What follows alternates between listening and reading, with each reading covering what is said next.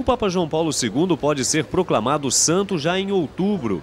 Foi o que declarou um arcebispo polonês que é secretário da Congregação da Causa dos Santos do Vaticano. Em entrevista a um jornal italiano, ele disse que é verossímil que o novo Papa declare João Paulo II em tempo rápido. Isso, em parte, seria possível por causa da aclamação popular recebida pelo Papa na semana passada. Milhares de pessoas gritavam na Praça de São Pedro durante o funeral.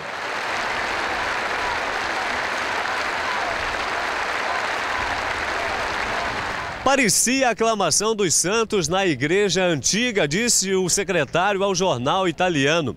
Tumores que desapareceram, cegos e inválidos de nascença que se recuperaram e vozes que voltaram.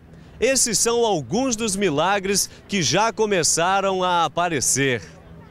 Porém, de acordo com a Congregação da Causa dos Santos, não haverá uma proclamação imediata do Papa como santo. Antes disso, é preciso juntar a documentação adequada para que o processo seja levado em frente. Mas em outubro próximo se reúne aqui em Roma o Sínodo dos Bispos.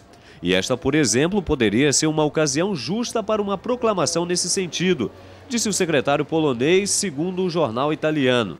E para este sacerdote é o que vai acontecer. Conforme estou comentando os telejornais aqui na Itália, segundo a decisão da maioria dos cardeais que são de acordo com a beatificação, provavelmente, e nós esperamos que isso aconteça, no mês de outubro próximo será beatificado o Papa João Paulo II.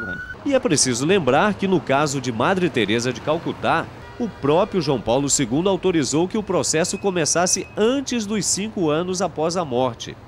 As regras da Igreja, no entanto, prevêem que, para uma pessoa ser proclamada santa, é preciso documentar dois milagres feitos por ela depois de sua morte, para então iniciar o processo de beatificação e outro para o de sua canonização. Agora é esperar para ver.